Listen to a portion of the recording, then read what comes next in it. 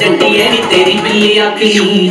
ਪੈਰਾਂ ਵਿੱਚ ਹੀਲ ਪਾਈ ਅੱਧੇ ਫੁੱਟ ਦੀ। ਸਾਡਾ ਦਿਲ ਲੁੱਟਦੀ ਨਾ ਕਿਤੇ ਜਾਵੇ ਟੁੱਟਣੀ। ਬੋਲੇ ਖਾਂਦਾ ਲੱਕਣੀ ਉਹ ਪਤਾਸੇ ਜਹੇ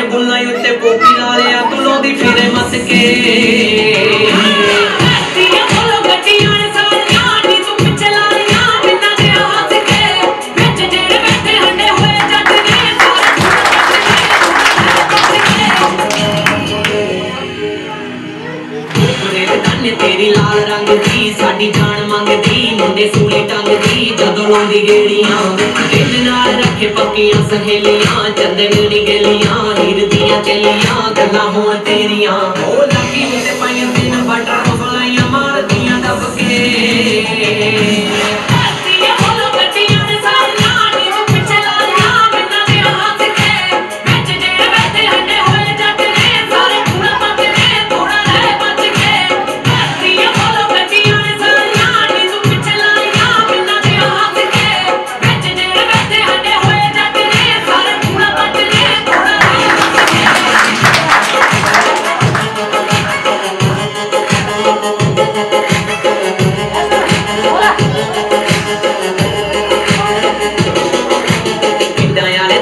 ਦੱਸ ਛਾਲ ਮਾਰਦੇ, ਸ਼ੀਸ਼ੇ ਚੱਕੇ ਕਰਦੇ, ਐਵੇਂ ਨੱਕ ਚਾੜ ਕੇ ਰੱਖ ਸਾਂਭ ਚੜਤਾ ਦਿਲ ਤੇ ਡੁੱਲਦੀ ਕਰੀਮ ਬੱਲੀਏ, ਸਿੱਧਾ ਸੀਨ ਬੱਲੀਏ, ਨਾ ਬੰਦੇ ਮੀਨ ਬੱਲੀਏ ਭੱਜ ਦਿੰਦੇ ਬੜਕਾਂ ਉਹ ਲੁੱਟਦੇ ਤੇ ਜੱਟ ਇਗਨੋਰ ਮਾਰਦੀ, ਹੋਏ ਕੀਆਂ ਦੇ ਚੱਸ ਕੇ